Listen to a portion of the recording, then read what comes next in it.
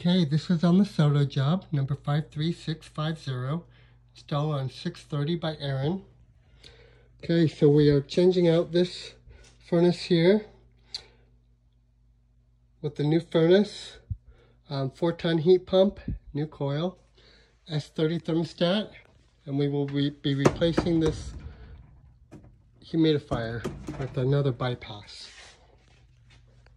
Um, okay, so duct just as it shows. Um, furnace will sit on the straight on the right side. Um, sit on a 9 inch base, furnace, coil, little piece of duct, canvas, and a starting collar. The starting collar on the back, you'll have to cut 2 inches into the 2x4s. okay. Um, on the return air, can have a, a 5 inch wide filter box, 25 by 29, and duct just as it shows. Um, your boot's going to come all the way out to the very edge. Um, so that line right there. Anyway, um, cut line up there. So I just to that cut line, then to the edge. So that side's going to be straight, this side's going to be a 90. And no starting collar from front to back because our duct's right there, right in front of the gas line. I have it going back a half inch actually.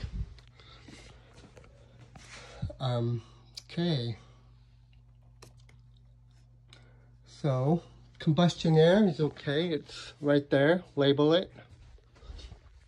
Our vent we're going to just take this B-vent off and put a 4-inch aluminum cap in there. Um, and our flue vent, 3-inch PVC up. You're going to follow over um, somewhat by this radon pipe. So probably if you remove this 2x4 or something, but I'll show you in the garage.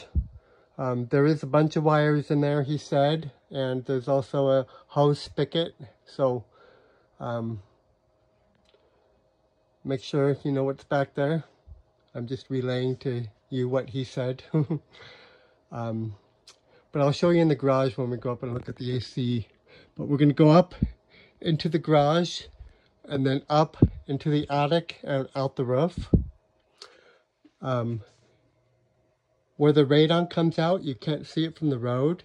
And he requested that we hide this in the valley by the radon so you can't see it from the road.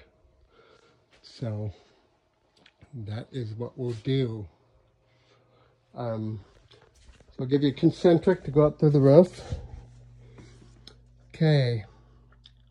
Um, gas, just as it shows. Um, from the caulk, you're going to add a 2T drip leg and uh, 12 out of the furnace, 92 in flex. Um, heat pump I'll go over in a minute. Thermostat, going to put an S30 thermostat on. Um, and I will give you a transformer for the heat pump, I believe um, well, if you need it. I looked at the wire, but I'm not sure that it was a four wire or two wire. Um, so thermostat S30. Humidifier, just replace it. Mount the new one on the front. Reuse the hot water is already hot.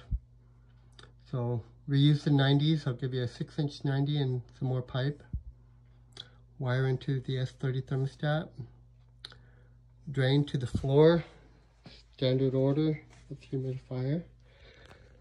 Okay, so let's go out there and look at the heat pump and the flues.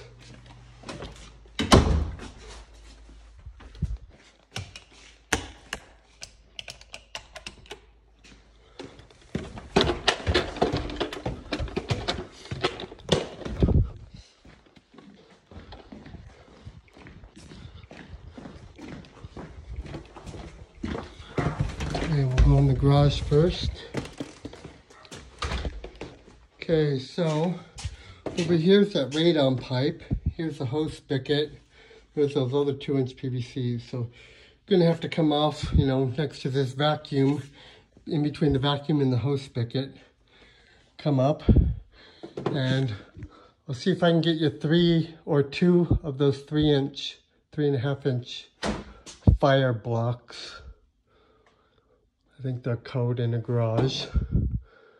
Um, so get, get you two of those things.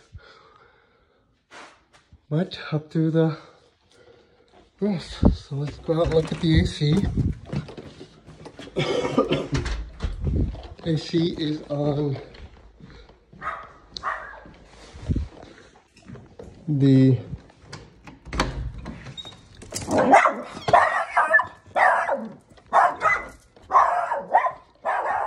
AC is on the west side of the house.